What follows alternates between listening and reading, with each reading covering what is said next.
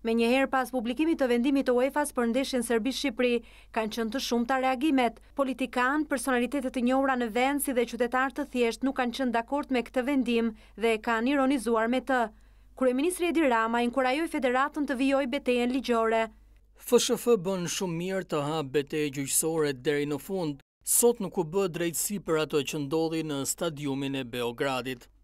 Kryetari i Partisë Demokratike Lulzim Basha kërkoi që kryeministri të mbështesë Kombëtaren në betejën ligjore që do të vijojë më tej. I padrejtë vendimi i UEFA-s, kryeministri t'i lërë llogjet në Facebook të angazhojë të gjithë resurset e shtetit në mbështetje të Kombëtares dhe një vendimi të drejtë bazuar mbi të vërtetën. Ish-kryeministri Sali Berisha tha se me këtë vendim u dënua njëlloj edhe agresori dhe viktima. Sipas tij UEFA vendosi për Vuçiçin dhe Ramën dhe jo për ndeshjen dhe se ekipi ynë është viktimë e politikës. Triumfoi racizmi pasi nuk u dënua.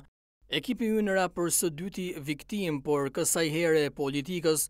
Ky është një vendim i turpshëm dhe vetëm politik. Kryekëput në funksion të takimit Rama-Vuçiç. Erion Braçe shkruante se UEFA e Michel Platini vendosi që ne të humbim atë që s'e humbëm kurrë, ndeshjen e futbollit në Beograd.